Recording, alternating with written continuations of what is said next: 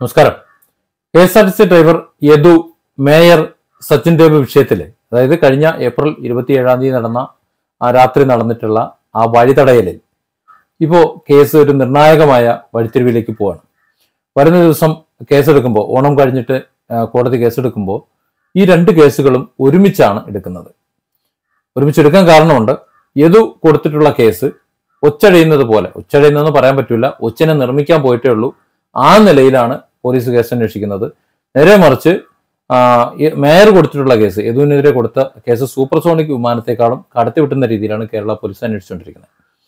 അപ്പോൾ ഒരു ഒരു അന്വേഷണ മേലുദ്യോഗസ്ഥന്റെ കീഴിലുള്ള രണ്ട് സ്റ്റേഷനുകളിലുള്ള ഈ രണ്ട് കേസുകൾ രണ്ട് രീതിയിൽ പോകുന്നതിനെ കുറിച്ച് കോടതിക്ക് ബോധ്യപ്പെട്ടിട്ടുണ്ട്.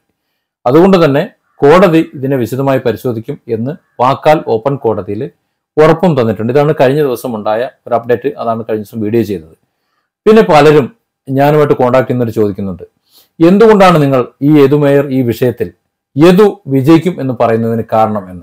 അത് നമ്മുടെ ഇന്ത്യയിൽ നിലനിൽക്കുന്ന നിയമമാണ്. നമ്മുടെ കേരളത്തിൽ നിലനിൽക്കുന്ന നിയമമാണ്. ഇവിടുത്തെ പ്രോട്ടോക്കോളാണ് യദുവിനോട് മേയർ ചോദിച്ചൊരു ചോദ്യമുണ്ട്. പ്രോട്ടോക്കോൾ അറിയുമോ എന്നുള്ളത്. അതേ ചോദ്യം തന്നെയാണ് യദുവിന് തിരിച്ചും ചോദിക്കാനുള്ളത്. പ്രോട്ടോക്കോൾ അറിയുമോ എന്നുള്ളത്. ഇപ്പോ നിങ്ങളുടെ ഓഫീസിലേക്ക് നിങ്ങൾ ഏത് ചെറിയ ഉദ്യോഗസ്ഥനായിക്കോട്ടെ ആരോ ആയിക്കോട്ടെ നിങ്ങളുടെ ഓഫീസിലേക്ക് ഞാൻ കടന്നു വരുമ്പോൾ ഞാൻ ചിലപ്പോൾ ഒരു കൊമ്പത്തെ ഓഫീസർ ആയിരിക്കാം. അവിടെ കയറി വരുന്ന സമയത്ത് നിങ്ങൾ അവിടെ ഇരിക്കുന്നു. നിങ്ങളുടെ കസേര ഒഴിഞ്ഞു തന്നിട്ട് നിങ്ങൾ എന്റെ മുന്നിൽ വന്നിരിക്കുകയല്ല വേണ്ടത്. നിങ്ങളാണ് അവിടുത്തെ ഓഫീസർ എന്ന് പറയുന്നത്. ഞാനാണ് നിങ്ങളുടെ മുന്നിൽ ഇരിക്കേണ്ട ആൾ. മുന്നിൽ ഇരുന്ന് അങ്ങോട്ടാ പറയേണ്ടത്. ഒരു പോലീസ് സ്റ്റേഷനിലേക്ക് ഒരു എസ് പി കടന്നു വന്നാലും അവിടെ സി എസ് എച്ച് ഒ ആണ് ആ സ്റ്റേഷന്റെ ഓഫീസർ എന്ന് പറയുന്നത്. എസ് എച്ച് ഒ കസേരയിൽ നിന്ന് എഴുന്നേറ്റ് മാറേണ്ട ആവശ്യമൊന്നുമില്ല. എസ് എച്ച് ഒയുടെ മുന്നിലിരിക്കുന്ന കസേരയിൽ വേണം എസ് പി ഇരുന്ന് സംസാരിക്കാൻ എന്നതാണ് പ്രോട്ടോകോൾ എന്നാണ് ഞാൻ മനസ്സിലാക്കിയിരിക്കുന്നത് നിങ്ങൾ എങ്ങനെയാണ് മനസ്സിലാക്കുന്നതെന്ന് എനിക്ക് അറിയില്ല ഞാൻ പഠിച്ചതും അതാണ്. തെറ്റാണെന്നുണ്ടെങ്കിൽ നിങ്ങൾ ഇതിന്റെ താഴെ കമന്റ് എഴുതി തിരുത്തി തരണം. കമന്റിന്റെ കാര്യം പറഞ്ഞപ്പോഴാണ് ഞാൻ വേറൊരു കാര്യം ഓർത്തത്. യൂട്യൂബ് അറിയാമല്ലോ യൂട്യൂബും ഫേസ്ബുക്കും ഒക്കെ ഇപ്പോൾ നമ്മളെ വീഡിയോകൾ പ്രൊമോട്ട് ചെയ്യുന്നത് നിർത്തി വെച്ചേക്കാണ് തൽക്കാലത്തേക്ക്. അവർ പറയുന്നത് നിങ്ങൾ ആ വീഡിയോകൾ ആൾക്കാർ കണ്ടു കഴിഞ്ഞാൽ മുന്നോട്ട് പോയാൽ മതി എന്നാണ്. നേരത്തെ നമ്മൾ സബ്സ്ക്രൈബ് ചെയ്തവർക്കും ബെല്ലൈക്കൺ അമർത്തി അമർത്തിയവർക്കും ഒക്കെ നോട്ടിഫിക്കേഷൻ പോകുമായിരുന്നു ഇപ്പം അത് പോകില്ല നിങ്ങൾ വീഡിയോ കണ്ടു കഴിഞ്ഞാൽ അതിന്റെ താഴെ എന്തെങ്കിലും ഒരു കമന്റ് എഴുതി എന്തെങ്കിലുമൊക്കെ ഒന്ന് ലൈക്കൊക്കെ ഒന്ന് ചെയ്താൽ മാത്രമേ മറ്റുള്ളവർക്കത് പോകും നോട്ടിഫിക്കേഷൻ പോകുള്ളൂ അപ്പോൾ കമന്റും എന്തെങ്കിലും ഒരു കമന്റ് ഒരു പുള്ളിയെങ്കിലും ഒന്നിട്ട് ഒന്ന് ലൈക്കും ചെയ്ത് ഇനി സബ്സ്ക്രൈബ് ചെയ്താ ചെയ്യാത്തവരാണെങ്കിൽ ഒന്ന് സബ്സ്ക്രൈബ് ചെയ്ത് പോകാൻ ഒരു കാരണവശാലും മറക്കരുത്. കാരണം ഈ ചാനൽ നിലനിൽക്കണമെന്ന് ഞാൻ ആഗ്രഹിക്കുന്നു കുറച്ചു പേർ ആഗ്രഹിക്കുന്നു. കഴിയുന്നത്ര ഞാൻ സത്യം പറഞ്ഞോളാം. അഥവാ അബദ്ധം എന്തെങ്കിലും പറഞ്ഞു കഴിഞ്ഞാൽ നിങ്ങളത് തിരുത്തി തരണം. അതിന് കമന്റ് ബോക്സിന് ഉണ്ട് ഞാൻ തിരുത്താനും തയ്യാറാണ്. അപ്പൊ നമുക്ക് വിഷയത്തിലേക്ക് വരാം. ഈ യദു മേയർ വിഷയത്തിൽ ഇത് എന്തുകൊണ്ടാണ് യദുവാണ് വിജയിക്കുന്നതെന്ന് പറയുന്നത്? പ്രോട്ടോകോൾ അനുസരിച്ചിട്ടാണ് അവിടെ കാര്യങ്ങൾ നടക്കേണ്ടത്. ഈ മേയർ ചോദിച്ച അതേ പ്രോട്ടോകോൾ യദുവിനും ബാധകമാണ്. യദു ആ വാഹനം ഓടിച്ചു വരുമ്പോൾ പ്രോട്ടോകോൾ പ്രകാരം ആ ബസ്സിന്റെ കസ്റ്റോഡിയൻ കണ്ടക്ടർ ആണെന്നുണ്ടെങ്കിലും അത് നിയന്ത്രിച്ചു വരുന്ന ആൾ യദുവാണ്. യദു തന്റെ ഡ്രൈവിംഗ് സീറ്റിൽ നിന്ന് പുറത്തേക്ക് ഇറങ്ങിയിരുന്നെങ്കിൽ പണിപാളിയനെ യദു കുറ്റക്കാരനായനെ. വാഹനം തടഞ്ഞത് അതായത് പ്രോട്ടോകോൾ പ്രകാരം ഒരു വാഹനം ഓടിച്ചു വരുന്ന അവരുടെ പ്രോട്ടോകോൾ ലംഘനം നടത്തിയത് അവിടെ മേയറാണ്. അത് ഗുരുതരമായ ലംഘനമാണ് നടത്തിയത്. ട്രാഫിക് വയലേഷൻ അവിടെ സംഭവിച്ചു. അത് സീബ്ര ക്രോസിംഗിൽ വാഹനം നിർത്താൻ പാടില്ലാത്തതാണ്. സീബ്ര ക്രോസിംഗിൽ വാഹനം വിലങ്ങനെ തന്നെ ഇട്ടു. അത് വീഡിയോയിലൊക്കെ നമ്മൾ കണ്ടതാണ്. അതെന്തായാലും പ്രതിഭാഗം ഏത്? യദു എന്ന പ്രതിഭാഗം അത് ഹാജരാക്കാതിരിക്കില്ല. അതേപോലെ യദു എന്ന വാദിഭാഗവും അത് ഒരുപക്ഷെ പോലീസുകാർ കണ്ടില്ല എന്നുണ്ടെങ്കിലും ഇവർ ഹാജരാക്കാതിരിക്കില്ല. അത് ശരിയായ കാര്യമാണ് നമ്മൾ ലോകം കണ്ടതാണ്. അത് ഏത് മജിസ്ട്രേറ്റിനും അത് കാണുമ്പോൾ മനസ്സിലാകുകയും ചെയ്യും. അപ്പോൾ ആ ഒരു കുറ്റകൃത്യം അവിടെ ചെയ്തിട്ടുണ്ട്. പിന്നെ ബസ്സിനെ യാത്ര തടസ്സപ്പെടുത്തിയതും വിലം കിട്ടതും എല്ലാം വീഡിയോ തെളിവുകളുണ്ട്. ഭാരതീയ ന്യായ സംഹിതയിലല്ല കേസ് രചിച്ചിട്ടുള്ളതെന്നുണ്ടെങ്കിലും ഇതൊക്കെ തെളിവായിട്ട് കോടതി എടുക്കുമെന്നാണ് ഞാൻ വിശ്വസിക്കുന്നത്. പിന്നെ പ്രോട്ടോകോൾ നോക്കുകയാണെന്നുണ്ടെങ്കിൽ മേയർ അപ്പോൾ ഡ്യൂട്ടിയിലല്ല. അവർ കുടുംബസമേത യാത്ര ചെയ്യുന്ന സാധാരണ ആൾക്കാരാണ്. ഒഫീഷ്യൽ വാഹനമല്ല. അവരുടെ അങ്ങളെയും അവരും എം എൽ എയും എല്ലാവരും സ്വകാര്യ യാത്രയിലായിരുന്നു. അപ്പോൾ ഒരു ഡ്യൂട്ടിയല്ല സ്വാഭാവികമായും അവിടെ ഈ യദു എന്ന് പറഞ്ഞ ചെറുപ്പക്കാരന്റെ വാഹനം തടസ്സപ്പെടുത്തിയത് മേയർ തെറ്റുകാരിയാണ് എന്ന് കോടതിക്ക് ബോധ്യമാകും. അത് പാർട്ടിക്കും മറ്റുള്ളവർക്കും ആർക്കും ചിലപ്പോൾ മനസ്സിലായെന്ന് വരില്ല. പക്ഷെ അത് കോടതിക്ക് ബോധ്യമാകും എന്നതുകൊണ്ടാണ് ഞാൻ യദുവിനായിരിക്കും വിജയം എന്ന് പറയാൻ കാരണം. പ്രോട്ടോകോൾ നോക്കിക്കഴിഞ്ഞാലും യദു ആ കസേരയിൽ തന്നെ ഇരിക്കണം എഴുന്നേക്കാൻ തയ്യാറായിട്ടില്ല. യദുവിനോട് ഇറങ്ങാൻ പറഞ്ഞിട്ടുണ്ട്. ഇങ്ങോട്ട് ഇറങ്ങട എന്നൊക്കെ പറഞ്ഞിരുന്നു. പക്ഷേ യദു അനങ്ങിയില്ല. യദു അണങ്ങില്ല കാരണം അയാൾ അയാളെ കസേര തന്നെ ഇരിക്കുക അയാളെ സീറ്റ് അതാണ് അവിടെ തന്നെ ഇരിക്കുകയാണ് അവിടേക്ക് കയറി ആക്രോശിച്ചിട്ടും വാഹനം തുറന്നു കൊടുക്കാൻ ആക്രോശിച്ചിട്ടും തെറി വിളിച്ചിട്ടും എന്നിട്ട് സഹായിക്കാൻ വയ്യാതെ വാതിൽ തുറന്നു കൊടുത്ത് ഉള്ളിൽ വന്ന് ആക്രോശിച്ചിട്ടും ജനങ്ങളെ ഇറക്കി വിട്ടിട്ടും എന്തൊക്കെ കാണിച്ചിട്ടും ഒരു കാരണവശാലും ഏതു സീറ്റിൽ നിന്ന് എഴുന്നേറ്റില്ല എന്നുള്ളത് ശ്രദ്ധിക്കുക. അതായത് നൂറ് ശതമാനം നിയമം പാലിച്ചുകൊണ്ടാണ് ഏതു വാഹനം ഓടിക്കുന്നത്. അവിടെ നിയമം തെറ്റിച്ചത് സച്ചിന്റെ എം എൽ എയും മേയർ ആര്യ രാജേന്ദ്രനും അതുപോലെ അവരുടെ കുടുംബാംഗങ്ങളുമാണ്. കാരണം അവർ ഈ വാഹനത്തെ തടസ്സപ്പെടുത്തുകയാണ് ചെയ്തത്. ട്രാഫിക് വയലേഷൻ അടക്കം ചെയ്യുകയാണ് ചെയ്തത്.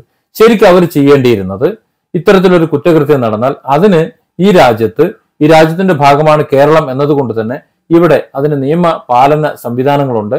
അവിടെ വിളിച്ചു പറഞ്ഞിട്ട് ഒരു പരാതി കൊടുക്കുകയോ അതല്ലെങ്കിൽ നേരിട്ട് ചെന്നൊരു പരാതി എഴുതി കൊടുക്കുകയോ ചെയ്തുകൊണ്ട് നിയമപരമായി പോവുകയായിരുന്നു മേയറും എം എൽ എയും ഒക്കെ ചെയ്യേണ്ടിയിരുന്നത്. പക്ഷെ അവർ അതല്ല ചെയ്തത്. അവർ അവിടെ അക്രമ പ്രവർത്തനം നടത്തുകയാണ് ചെയ്തത്. അതിനെ പോലീസുകാർ ഏതൊക്കെ രീതിയിൽ റിപ്പോർട്ട് എഴുതിയാലും ഏതൊക്കെ രീതിയിൽ അതിനെ എങ്ങനെ വളച്ചൊടിച്ചു കഴിഞ്ഞാലും ക്രമസമാധാനം പാലിക്കാൻ വേണ്ടിയിട്ട് കുറ്റകൃത്യം തടയാൻ വേണ്ടിയിട്ട് ഞങ്ങൾ എന്തൊക്കെ ചെയ്തു എന്ന് പറഞ്ഞു കഴിഞ്ഞാലും ഇതൊക്കെ കോടതിയിൽ സ്ഥിരീകരിക്കപ്പെടും എന്ന് ജനത്തിനും അറിയാം ഇത് അവർക്കും അറിയാം. അതുകൊണ്ടാണ് അവർ ഇമാതിരി കളി കളിക്കുന്നത്. ഇനി ഒരു പക്ഷേ അവരുടെ ഭാഗം വിജയിക്കും എന്നവർക്ക് ഉറപ്പുണ്ടായിരുന്നുണ്ടെങ്കിൽ എന്തിനാണ് യദുവിന്റെ കേസ് തടഞ്ഞു വെച്ചേക്കുന്നത് യദു കൊടുത്ത കേസ് എന്തുകൊണ്ടാണ് മാക്സിമം അത് പോകാതെ അത് റെഫർ ചെയ്യാനുള്ള ഒരു സൗകര്യത്തിന് വേണ്ടി വെച്ചുകൊണ്ടിരിക്കുന്നതിന്റെ കാരണം എന്താണ്? അത് മാത്രം ചിന്തിച്ചാൽ മതി. അപ്പൊ യദുവിന്റെ കേസ് റെഫർ ചെയ്ത് പോയി കഴിഞ്ഞാൽ മറ്റൊരുടെ കേസ് വിജയിക്കാമെന്നുള്ള മണ്ടൻ ബുദ്ധിയാണ് പിന്നെ അവിടെ ഉള്ളത്. പക്ഷെ യദുവിന്റെ കേസ് റെഫർ ചെയ്ത് കഴിഞ്ഞാലും നമ്മുടെ വക്കീൽ അഡ്വക്കേറ്റ് അശോക് വെറുതെ ഇരിക്കില്ല അത് റെഫർ ചെയ്ത് തന്നെ വീണ്ടും അത് കൊണ്ടുവരാൻ അദ്ദേഹത്തിന് പറ്റും. അദ്ദേഹം ആവശ്യപ്പെട്ടിട്ടാണ് ഈ രണ്ട് കേസും കൂടി ഒരുമിച്ച് നോക്കുന്നതും ഈ അതുപോലെ ഓപ്പൺ കോർട്ടിൽ രണ്ട് പ്രോസിക്യൂട്ടർ വേണം എന്ന് പറഞ്ഞതുമൊക്കെ. അതൊക്കെ കോടതി സ്വീകരിച്ചിട്ടുണ്ട്. അതിനെക്കുറിച്ചുള്ള സംസാരമാണ് ശരിക്കും പറഞ്ഞാൽ ഈ ഓണം കഴിഞ്ഞിട്ട് ഉണ്ടാകാൻ പോകുന്നത്. കോടതി അത് തള്ളിക്കളഞ്ഞിട്ടില്ല.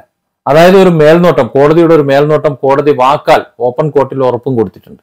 അത് എന്തുകൊണ്ടാണ്?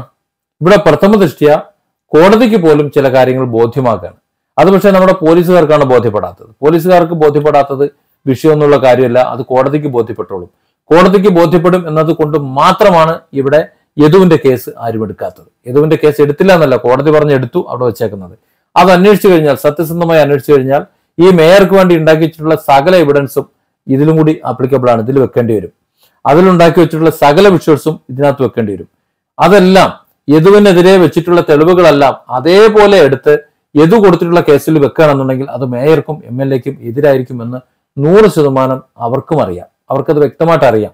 അതുകൊണ്ടാണ് അവർ പ്രതിരോധിക്കാൻ മാക്സിമം പ്രതിരോധിക്കാൻ വേണ്ടി ശ്രമിക്കുന്നത്. രണ്ടാമത് അവർക്കൊരു അബദ്ധം പറ്റിയിട്ടുണ്ട്.